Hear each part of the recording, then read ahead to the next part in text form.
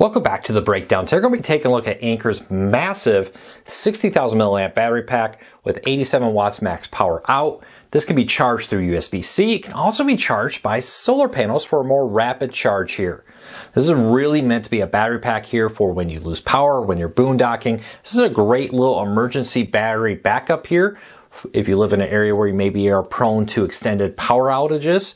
It even has a built-in um, emergency light here so you can keep your house lit with it. Now we're going to be looking at the pros and cons of this, break down everything you need to know about this, some important things that you need to be aware of with this, and more here in a minute. First, though, a few disclaimers. This was not a review unit. I did buy it with my own money. Second, pricing on this changes so rapidly, I hate to give you a price and have it be wrong. I'll put a link to it in the show notes and in the first pinned comment down below on Amazon where you can find it there. Lastly, if you can, help us out. Do me a favor, hit that subscribe button, hit that thumbs up, let YouTube know you enjoy what we do here. We would really appreciate it. So with that said, let's dive into this. Take a look at this battery pack here. Now, right off the bat, one of the things with this real quick is it looks on the picture for uh, Amazon like it's kind of a slate gray. It's actually, I'm going to call this army green. My wife retired from the army. So I'm to, this kind of that green you see on a lot of army stuff. It does have here a, um, a glow in the dark uh, indicator lights here, which is really nice if you lose power to be able to find it. These are ventilation on the side. On the front, you have two USB-Cs and two standard USBs to charge up to four items at once. It also has a solar input. You can do the more rapid charge if you have a solar panel that does that kind of input here with it. You can also charge through USB-C. I have both a solar panel that has this kind of rapid charge support and one that comes out of a USB-C. You can charge it both ways with this. Now, off a 30 watt charger with this, it takes about six um, hours to get about a 75% uh, charge. I would say about seven to eight hours to get a full charge on this. So overnight we'll charge this very quickly off a 30 watt one with the higher wattage, the faster the charging. Now you do have this light here um, at the top with it. There we go. And it's got a few different brightness settings with it. It even has an SOS mode. And I'm not going to uh, have that go too far there with it. But then there is a digital display, and I'll show you that a little bit more in a minute. Tell you how much time left to for it to charge and how much time left for its battery when you're using it to give you an idea of how much wattage you're using at the moment and how much power remaining at that usage level is left. Let's take a look at everything that came with this and I'll talk about a few key things with this real quick.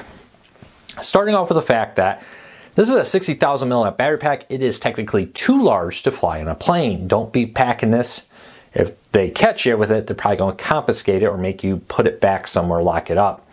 Now, with that, it does have a very nice handle for travel. It's not that light. It's not something you're going to want to carry in a backpack, to be honest with you. But in a camper, in a uh, emergency um, earthquake or hurricane kit or disaster kit period, this is a pretty nice battery pack.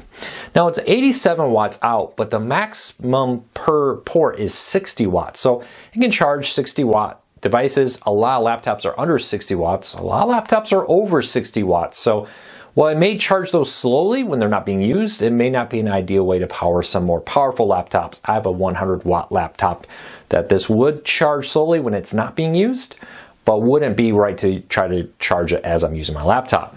But if I want to make sure my daughter's uh, tablets, phones, Nintendo Switch, earbuds, and the like are all got power in case of an extended power outage, if we're you know, we live where the tornadoes are common. We used to live in Texas where hurricanes would every now and then come.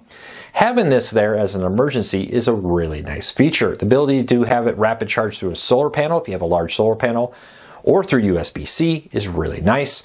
With up to 87 watts, you can get a lot out of this and do a lot with it. Now, I'm overall giving this two thumbs up. Now, in our testing, it works really well. The light on it is good enough. It's kind of nice um, to have as an emergency. It can go a very long time off of that with it. The ability to charge it through USB or a solar panel is nice. Now, this is not something, if you're going to rely on this for a majority of your power, probably not want to use this. There's bigger, similar battery packs out there. But for the price, this is a very good power bank here to add to an emergency kit. And that's why I got it. This is why I'm going to use it so that if we do end up in a place where we for a long period of time, do not have power. I know I will have my cell phone with me to be able to um, connect to the uh, grid here. The cell phone towers of my house run off of backup generators when there's not power, which is really nice. Also, just to keep the miscellaneous things powered. Um, if you're using this for boondocking, you're going out in a camper, you're not backpacking with this because it's probably heavy for backpacking. It's pretty good um, device there. So two thumbs up. I'll put a link to it in the show notes on Amazon in the first pin comment in the show notes down below. If I didn't happen to answer one of your questions, leave me a comment. Let me know. I'd love to hear from you. If you're new here, do me a favor, hit that subscribe button, hit that thumbs up. We would really appreciate your support.